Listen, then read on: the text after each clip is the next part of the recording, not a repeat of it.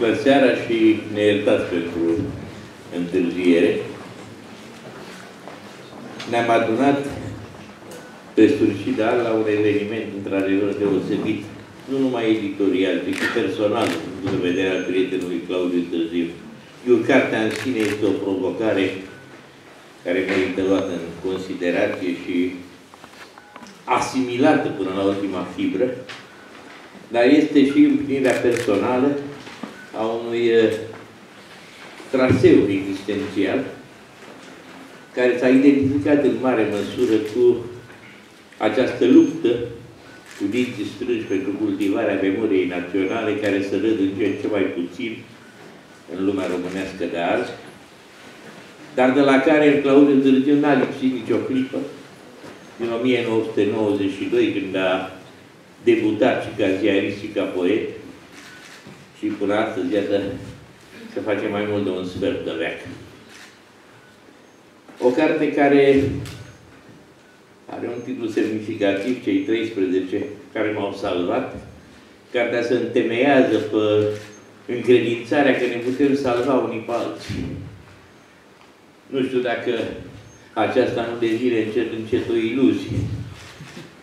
Generația lui Graului Târziu, generația mea, putem să mărturisim cu mâna pe inimă că am avut salvatorii noștri, că am vrut să-i avem, i-am căutat, că am simțit nevoia acută a salvării. Mai simt această nevoie generațiile noi? Mai există salvatori în măsură să salveze? Pe măsură ce trebuie trece aceste întrebări de timp din ce în ce mai dureroase. Dar Dumnezeu e mare și dacă Dumnezeu este cu noi, probabil că vom reuși să răzvim în toate vitregiile vremurilor. Și ne punem încă nădejdea că acest, această zestre a trecutului pe care căutăm să o chivernisim după putere, va fi în măsură să însuflețească și generațiile mai noi. Eu, de pildă, e foarte greu să imaginez cum ar fi fost traseul vieții mele dacă nu aș fi avut aceste întâlniri esențiale la un moment dat, încă în prima tinerețe, cu acești oameni care mi-au dat adevărata măsură omenității românești. O omenitate românească, evit să spun umanitate, că termenul este foarte devalidat, și Părintele Stărinoae prefera acest cuvânt, omenitate. Omenitate românească care e croită în altă stufă și care ne arată că poți fi român și altfel decât în modul dezabuzat în care facem astăzi umbră pământul. O românitate luptătoare, mărturisitoare, creatoare. O românitate care a știut să țină la un loc, în primul rând, pentru că marea pildă a generației închisorilor, pentru că despre ei este vorba cu pregădere în carte, este aceasta că, chiar dacă au fost între ei mici divergențe, că suntem oameni, totuși au ținut la un loc și au mers uh, unitar spre același ideal, cu orice preț, în oricum prețul uh, jertfei supreme. Apoi au crezut că România poate fi mai mult decât este. Un lucru pe care noi începem să ne îndoim de ce în ce mai mult. Și una dintre pricinile paraliziei pe care o trăim la nivel comunitar este și aceasta că nu mai avem încredere în noi înșine, în resursele noastre creatoare, în propria noastră tradiție legitimantă.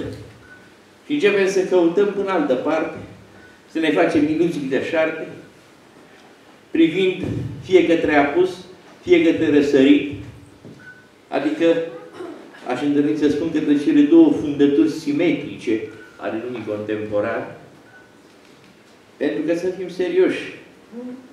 Apusul are calitățile lui indiscutabil și probabil e singura direcție pasabilă a momentului, dar are tare foarte multe și să prăbușește rânsul galopant.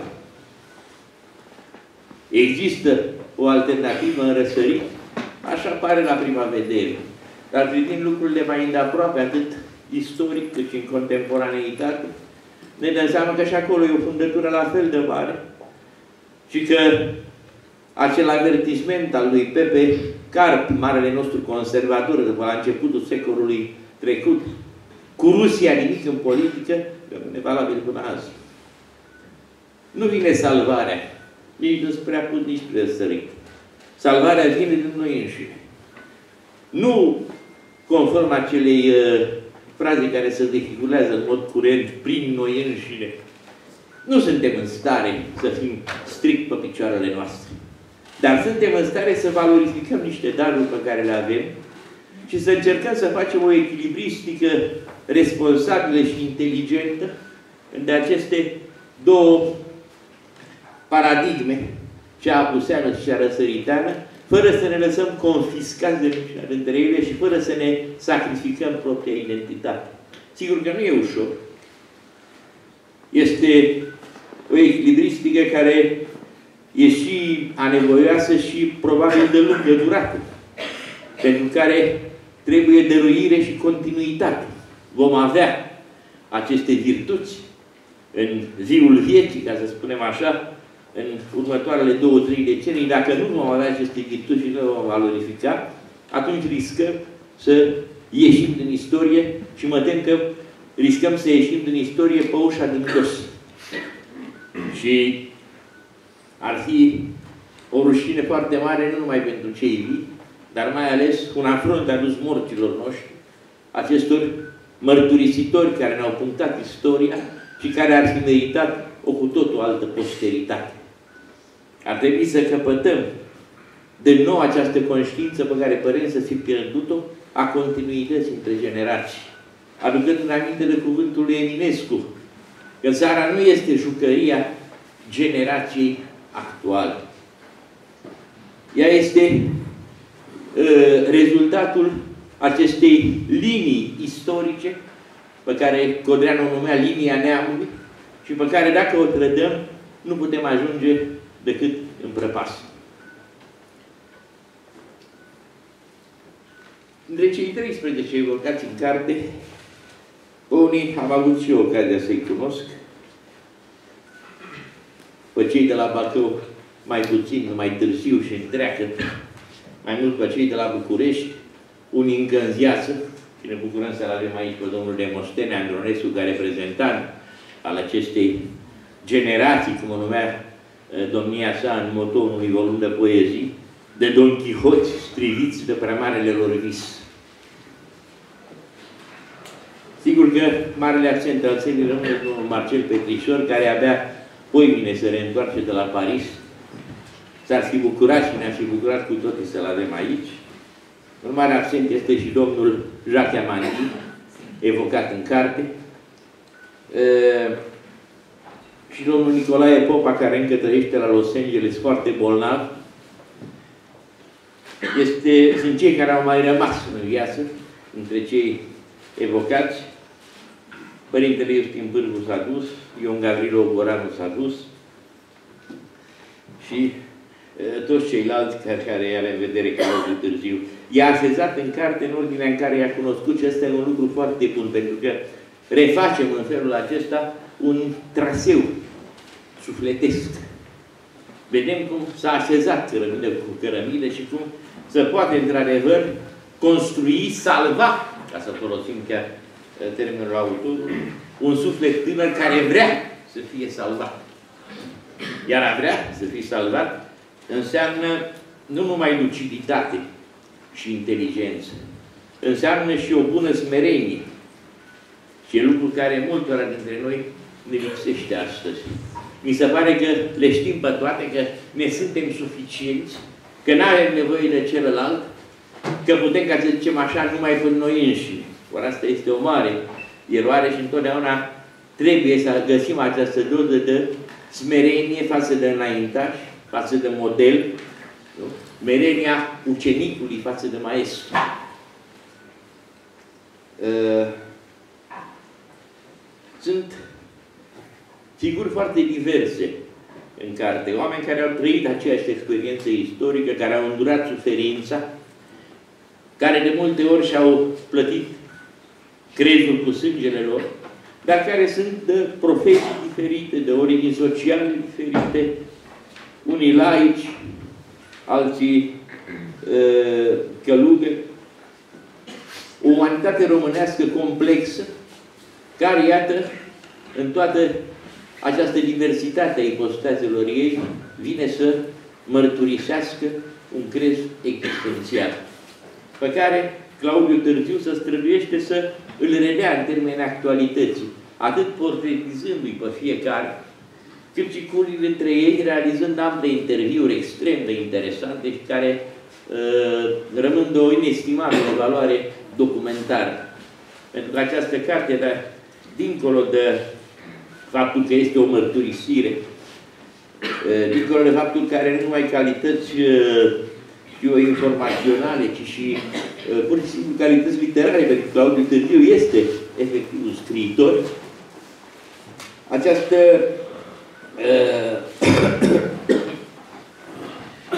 carte are și această uh, putere extraordinară de uh, coerență pe care să o transmită uh, ca pe un catalizator și probabil că s-ar fi putut uh, opri la mai multe cazuri, cei trei sunt singurii pe care i-a cunoscut, dar sigur că nu poți cuprinde totul într-o singură carte și că până la urmă intervine și factorul subiectiv. Te simți într-o măsură mai mare sau mai mică, mai aproape sau mai puțin aproape de unul sau de altul în funcție de anumite conjuncturi uh, existențiale. Uh, eu mă bucur că sunt cuprinși aici oameni pe care i-am cunoscut și eu și pe că, de, față de care mă simt mereu dator, pentru că nu i-am mărturisit în suficientă măsură. Mă gândesc aici la oamenii pe care i-am cunoscut încă de la începutul anilor 80. Este vorba, în afară de Marcel Petrișor, care mi-a deschis, de fapt, toate drumurile și care m-a pus în legătură cu mai toți ceilalți. Este vorba de Părintele Gheorghe Calciu Dumitreasă, care a fost într-adevăr o întâlnire uh, fondatoare, ca să zic așa, în existența mea, cum avea să fie mai târziu și în cea lui Claudiu Târziu. Mă refer la Demostene Andronescu, pe care totul Marcel Petrișor l-am cunoscut. Marcel Petrișor, Părintele Cașu de Demostene Andronescu erau foarte apropiați prieteni. Mă refer la Ion Gavrilo Ogoranu, pe care mi-l amintesc pentru că înainte 1989, când era încă de, destul de tânăr și de vioi, mi-aduc aminte apoi de alte personaje care nu sunt evocate în carte, cum ar fi Aurel State, o mare figură de erou mărturisitor și mulți, mulți alții. Fără ei, nu știu încotro aș fi apucat nu știu ce s-ar fi ales de mine. Așa că tot ceea ce sunt le datorez lor și sper ca mai departe, nu? acest lucru să se perpetueze, ca și mâine cineva să poate spune, iată uitându-mă înapoi, datoresc lui X sau Y ceea ce sunt și lucrul acesta să fie lanțul istoric care să ne salvezi în eternitate. Așa să ne ajute Dumnezeu.